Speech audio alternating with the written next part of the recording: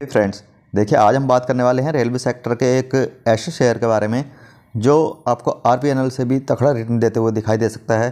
देखिए, आरबीएनएल पर मैंने एक वीडियो पहले भी बनाई थी आपको, लगभग चालीस रुपये के आसपास, और तब से अब एक ये अस्सी रुपये पर हो चुका है तो लगभग लगभग दोगुना हो चुका है। और ये जो मेरे पास है, मैंने इसको अट्ठारह रुपये पर भी लिया था, जब मार्केट में बहुत तकड़ी एक गिरावट आई थी, तब कोविड के टाइम पर।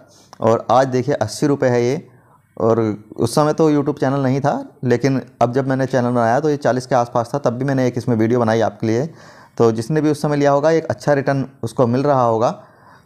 देखिए, कल भी जो है, इसने लगभग दस परसेंट का अपर सर्किट लगाया है और अब जो है, रेलवे सेक्टर के सारे स्टॉक्स भागने लगे हैं, क्योंकि एक बजट आने वाला है और इस बजट में जो है, बहुत ही अच्छी अनाउंसमेंट हमें देखने को मिलेगी एक रेलवे सेक्टर के लिए।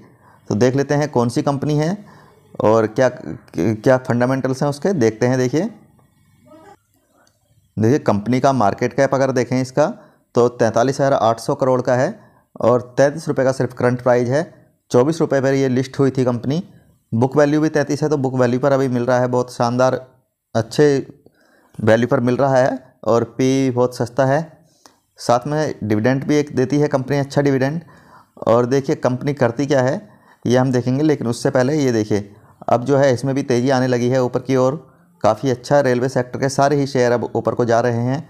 और अगर कौन और प्रोज देखें तो पहले तो कौन देख लीजिए, सॉरी, प्रोज देख लीजिए। तो प्रोज में क्या है, अपनी बुक वैल्यू पर ये ट्रेड कर रहा है। और अगर डिविडेंड यील्ड देखें तो चार परसेंट का बना हुआ है इसका। सीएजीआर है पिछले पाँच सालों में पैंतालीस परसेंट का। और एक हेल्दी पे आउट बना हुआ है, डिविडेंड पे आउट, बीस परसेंट का। ठीक है? और इसमें अगर हम कौन में देखें तो सिर्फ़ एक चीज़ थोड़ी सी नेगेटिव दिखाई देती है, वो ये है कि इक्विटी भी रिटर्न इसका थोड़ा कम है।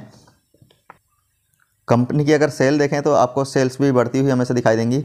कभी छः हज़ार एक सौ सत्तानवे करोड़ हुआ करती थी, अब हो गई हैं बाईस हज़ार चार सौ पैंसठ करोड़। और अगर हम इसका प्रॉफिट देखें तो देखिए नेट प्रॉफिट अगर देखेंगे हम तो नेट प्रॉफिट में भी बहुत तकड़ा जंप हमें देखने को मिल रहा है इसमें। कहीं 700 करोड़ का हुआ करता था, अब है 6400 करोड़ का। तो बहुत ही तकड़ा एक जंप हमें प्रॉफिट में भी देखने को मिल रहा है। अगर बात करते हैं इसकी कंपाउंड सेल्स ग्रोथ की तो देखिए, हमेशा 20 परसेंट के आसपास बढ़ी है और प्रॉफिट ग्रोथ 40 परसेंट। तो बहुत अच्छा है और सी ए जी आर पैंतालीस का है, क्योंकि इसी साल ये लिस्ट हुई है तो स्टॉक का सी ए जी आर इसी साल का दिखा रहा है। ज़्यादा पुराना नहीं है इसमें डाटा।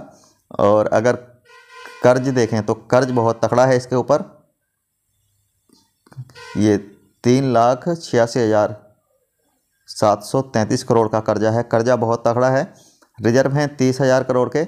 लेकिन देखिए, क्योंकि ये फाइनेंस सेक्टर से, ये रेलवे के फाइनेंस सेक्टर से कंपनी आती है तो इसमें कर्जे की कोई इतनी दिक्कत होती नहीं है और ऊपर से सरकारी कंपनी है तो बहुत ज़्यादा दिक्कत ये है नहीं कर्जे वाली।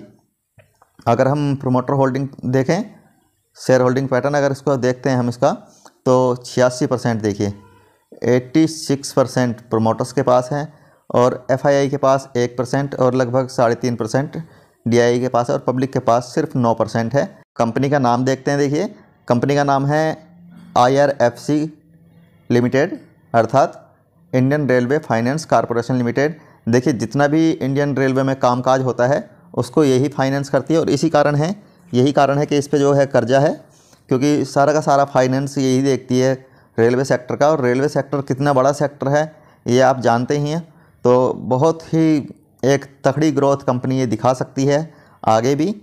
और आप अगर इसका रेवेन्यू स्प्लिट देखें तो देखिए लीज इनकम थी इसकी, ये लीज इनकम थी इसकी पचहत्तर परसेंट और इंटरेस्ट इनकम है पच्चीस परसेंट मतलब सिर्फ़ लीज पे ही जो इसने दे रखा, वहाँ से पचहत्तर परसेंट का रेवेन्यू इसका इकट्ठा होता है।